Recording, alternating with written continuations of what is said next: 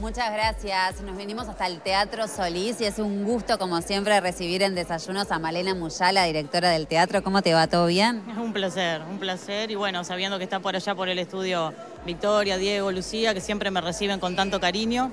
Así que bueno, en cualquier momento este, queda la cita para el año que viene, me imagino, de poder ir por allá. Así que mil gracias por estar nuevamente por acá. Bueno, estamos eh, en un evento donde está llegando muchísima gente. Contanos de qué se trata.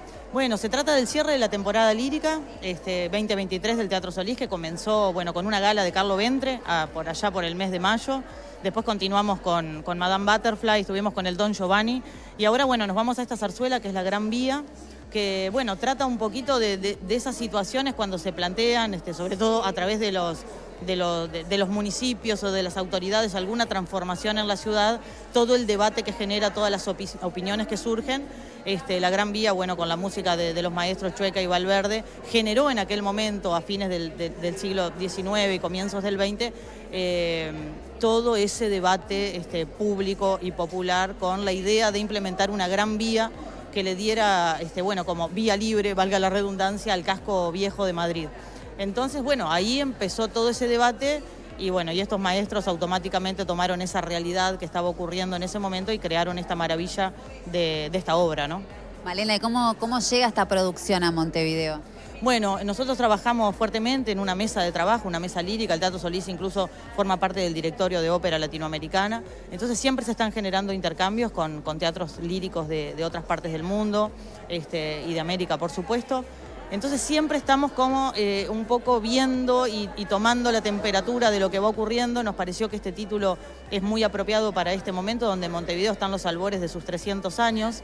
Entonces este, poder generar desde el humor, desde una zarzuela, este, desde la sátira también, ¿no? desde toda esta comicidad que tiene la Gran Vía, para un cierre de año, además que creo que estamos necesitando bastante humor y comicidad, este, siempre es un, buen punto de encuentro desde ese tipo de diálogo. Pensamos que la Gran Vía era muy apropiada, con una adaptación y con muchos guiños también a esta Montevideo que, bueno, como te decía, está en sus primeros 300 jóvenes años. Ahí va, justo te iba a preguntar eso, eh, el público que venga, ¿con qué se va a encontrar? Se va a encontrar, eh, a mí lo me gusta mucho cuando a través del humor se genera el espacio para la reflexión. Este, que nos pasa mucho y que también esta zarzuela lo tiene, el componente de lo que tiene que ver con, eh, nosotros tenemos la gran fiesta popular, que es el carnaval, que habla de actualidad, que nos refleja, nos pone realmente un espejo donde poder vernos y donde poder ver las distintas opiniones, encontrarnos, reírnos y abrir el diálogo, abrir este, el punto de encuentro. Entonces creo que se va a encontrar, además de todo eso, con, bueno, con una regisseur como Amelia Ochandiano, que viene desde, desde España, que es realmente una maestra, y un elenco gigante donde van a estar participando integrantes tanto de la, de la Filarmónica como de la Comedia Nacional.